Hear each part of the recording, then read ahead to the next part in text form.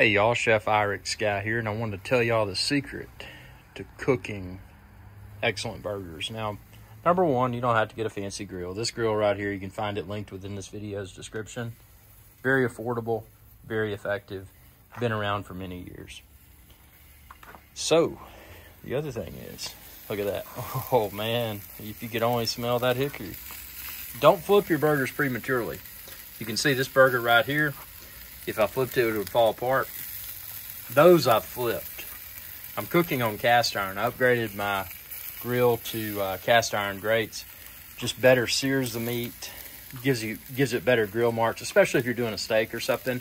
Burgers, that's not that big of a deal because it's not about the presentation. It's probably going to be in a bun, unless you're like some like new person and and you don't eat bread. You know, you just eat the patty. I mean, which that's cool. I mean, nothing wrong with that, man. But uh, yeah, for the most part, you know, don't flip your meat until it's seared. Don't flip your burgers until it's seared thoroughly on the other side. Otherwise, it may fall apart. And something I would recommend doing, you know, you go to your local grocery store and they got patties that are pre-made. Those will work. They're not really going to impress. These patties right here are from a professional butcher. So there's minimal shrinkage and it's really premium beef. So, you know, always go for that if you can. I mean, it doesn't have to be super expensive. These weren't super expensive, but there's so many notches above, you know, those packs of four or five or six, however many burger patties that you'll get. this is not ground beef. You know, this is, these are steak burgers, man.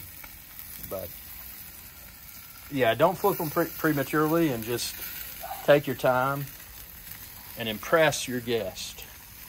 Thanks for your viewership and be sure to subscribe. YouTube.com forward slash Irix Guy. And check out all my other grilling videos too.